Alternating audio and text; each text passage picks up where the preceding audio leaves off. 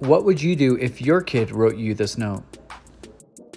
Woke up today and Connor said that he wanted donuts and he said, did you see my note? And I didn't see his note. So I went up and read it. Connor, why do you want donuts today? I just wanted, they're yummy. What kind of donut do you want? Yeah. Uh, maple bar. So we are coming to Macey's and we're fans. I love the glazed croissants. They love the maple bars, But no donuts for you today. but no donuts for me. So I'm just gonna watch people. the eat flowers. donuts. Usually they have glazed croissants that are amazing, but they've started to do cronuts. I mean, it's croissant dough that's cut into rings, but you can't complain. And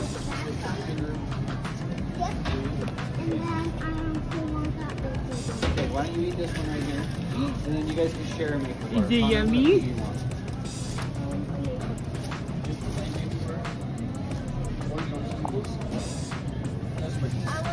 All right, here's a big maple bar for you. So does, do I not have to share with him? You guys are lucky. How is it? I want a maple bar too.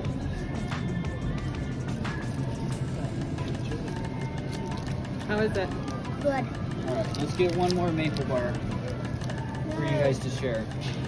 How's the donut? Good. How's the donut? How's the donut? Me?